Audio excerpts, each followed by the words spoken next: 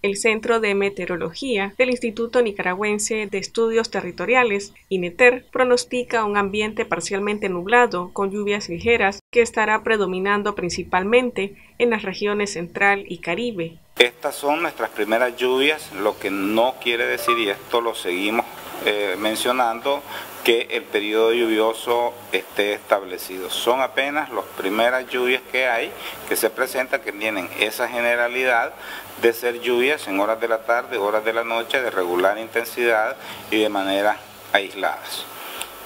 Dicho esto, hoy lunes que inicia nuestra semana, pues tenemos el paso de un frente eh, frío por la zona norte del Caribe nicaragüense y esto significará pues que eh, va a ocasionar eh, líneas de vaguada que van a inestabilizar la atmósfera y consecuentemente pues nos van a estar provocando lluvias el día de hoy lunes, posiblemente el día de mañana martes, incluso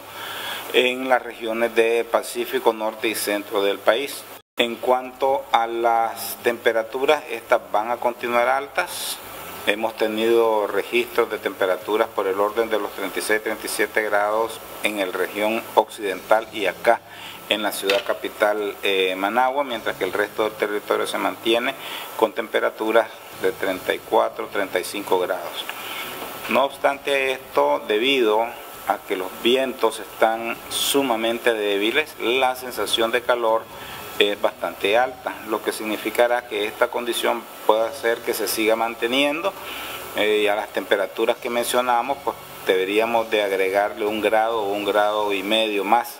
que es lo que provoca la sensación térmica. Para Noticias 12, Gloria Campos.